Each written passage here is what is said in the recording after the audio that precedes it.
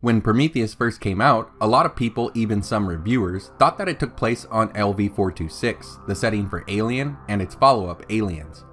But most of us knew or learned pretty quickly that the focus instead would be on LV 223. But why'd they choose LV 223, a moon in orbit around the same gas giant, Calpamos, as LV 426 was? Most of us assumed that it was one of the change-ups brought on by Damon Lindelof, as all of the known scripts by John Spaihts used LV 426 but Damon's known drafts simply say the planet. So it appears that even before Damon's involvement, the idea to use LV223 as a setting was around. Now let's see if we can find out why.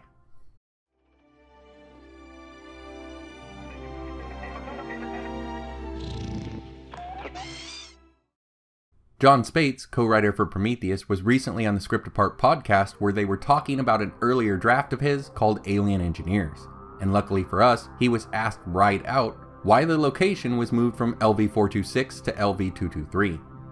He replied, It's a good question. We went back and forth a lot over the course of things as to whether this was a precise juggernaut or not from the original film, but in the end, like other parts of his drafts, it was just too expensive.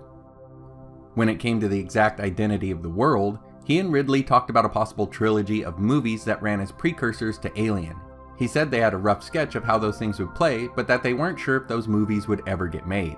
So they left themselves escape hatches, meaning that if they only got to do one film, it would be good enough prequel wise. They were consciously developing story as so that Prometheus could lead directly into Alien, or it could lead to a branch path, and there would be another story that would play in between Prometheus and Alien, giving them more time on this way station. So it appears that even they were unsure of how Prometheus, or a movie tied to Alien, could do at the time. And they were using LV223 as a stopgap to getting to LV426, giving them time to expand on the story of the engineers, the accelerant, and a host of other Giger type aliens. Yet to me, it sounds like John felt that you could still go to LV426 for Prometheus and still get the prequel trilogy that they were looking for, because when he was later asked about the changes to the end of the final act from Alien Engineers to Prometheus, this is what he had to say. While telling the just so story of the space jockey, which that would have been because you see the pilot of the Juggernaut unite with his pilot seat, he essentially becomes a living space jockey. He puts on his suit and acquires the appearance of the creature that we met dead in Alien.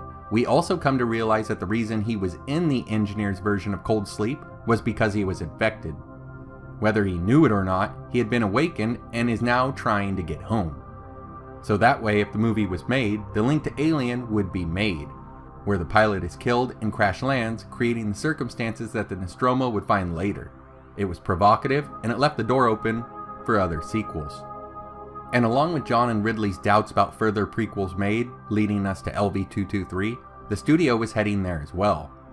When John came aboard, the project was an Alien prequel, using titles like Alien Origin, Alien Engineers, and Alien Genesis.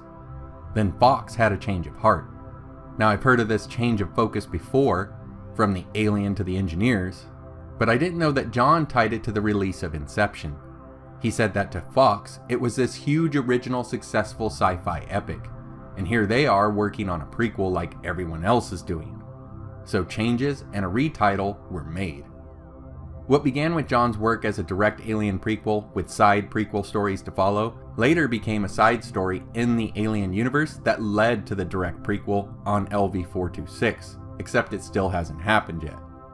And now I'm sure they would have ironed all this out in later drafts, but Alien Engineers did leave some issues for later movies.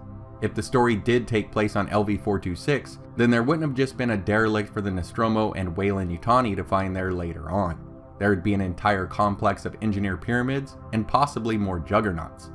There would also be the crashed Prometheus or Magellan as it was then called, an escape pod, and a whole host of dead human, engineer, and various alien bodies, all left to be discovered. Ridley stated that the decision to not have things take place on the same planet was intentional, and that he didn't like the idea of the Nostromo picking up a signal from the very same ship that we saw in Prometheus because it was just too neat, too clean. What are your thoughts on LV223? I'm actually glad that we got to see another moon in the same system as 426, as it did greatly expand on the alien universe. But without a third prequel or follow up story, we're left waiting for a return to Acheron. Thanks for watching, guys, and as always, your likes, shares, comments, and subscriptions go a long way towards helping the channel grow. Take care, and I hope to see you next time.